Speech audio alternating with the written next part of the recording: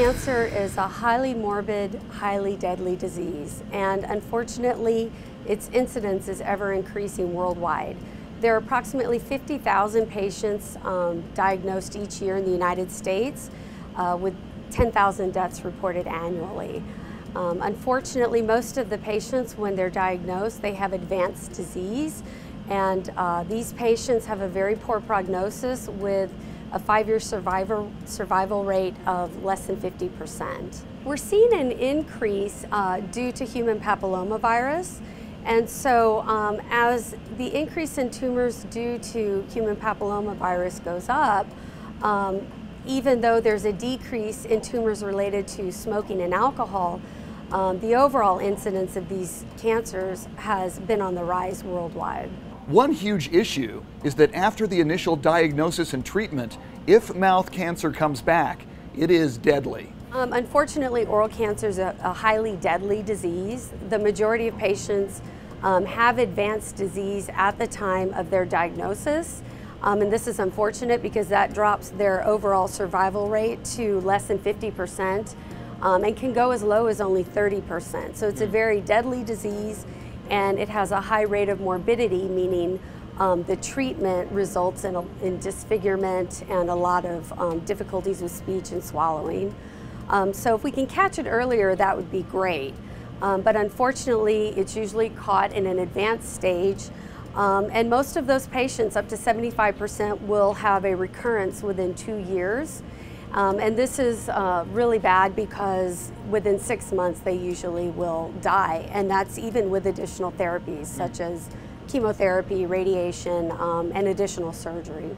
Oral cancers can be aggressive and deadly, but there is hope in the form of research that is going on right here at the UT Health San Antonio Dental School. Not only sophisticated research, but often it comes back to nature itself. In this case, the thyme plant. My laboratory is interested in developing new treatments for oral cancer. And so um, we've developed a number of compounds that are um, based on um, natural compounds found in nature. So uh, for example, these studies use thymol, which are derived from plants such as thyme and oregano. UT Health San Antonio has a patent on a thymol mouth rinse to prevent oral cancer and on its mechanism of action to use as a treatment for oral cancer. Tell me a little bit about what we're, we're doing here and what we've discovered here lately.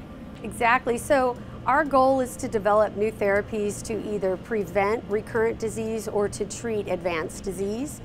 Um, another scientist in the Health Science Center was doing a screen of native plants found in Texas, and from that screen she identified a compound called thymol. What is your vision for if this is a mouth rinse, how would it be used by the patient, and, and what effects, if everything works, would it have on the patient? Well, ideally, um, we can develop this into a mouth rinse that can be used um, to prevent primary cancers.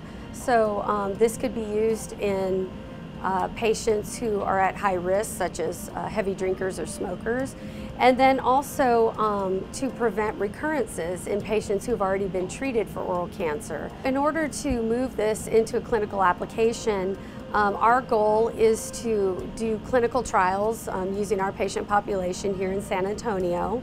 Um, ideally, we would start with patients who have already or recently completed treatment for cancer and allow them to use this mouth rinse two to three times a day and follow their recurrence rates with the um, goal of extending those rates out past two years. So if we could develop this into an effective mouth rinse that prevents recurrence, we could hopefully extend their survivorship for, for many years to come.